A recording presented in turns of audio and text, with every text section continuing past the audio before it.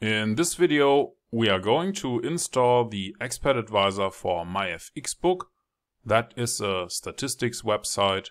So let's find out how to do that with MetaTrader 4. If you go to Google and type in MyFXBook, you will find this website. It provides statistics.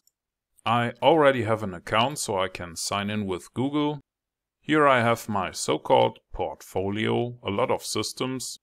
And now I can open one of my systems and see all the statistical data.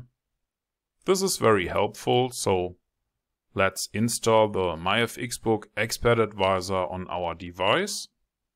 Here is the link. You could also do a Google search, so let's click on the link. The EA installer is downloaded. I will now double click it. In my case it comes up right away. Usually it will need some additional files. I have done this installation process for MQL5 a few minutes ago. This is for MQL4 and MetaTrader 4. Both files require the .NET framework from Microsoft to be installed. This would take a few additional steps, but as I did it before, it isn't required anymore, so I can now pick one of my installation directories.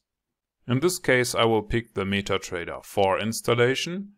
You can run MetaTrader 4 and MetaTrader 5 on the same computer. This is the right entry, so let's click on install. Now it says the installation was complete and I should restart my MetaTrader. So let's click on finish file exit. And after you have restarted the MetaTrader, you should see the Expert Advisor. Here in the navigator view, it's called MyFXBook. So let's drag this one on the chart. Yes, I really want to stop the current one and replace it with the MyFXBook Expert Advisor. You can simply open a new chart if you run Expert Advisors for all the currency pairs that you need. Please click on dependencies and see if those entries here exist. Afterwards, please click on inputs, type in your credentials for your free MyFXBook account. I will now use a wrong password and click on OK. And that will cause that the Expert Advisor is right away removed from the chart. So this is a mistake. Now you see we have never published anything. Actually, auto trading is disabled here.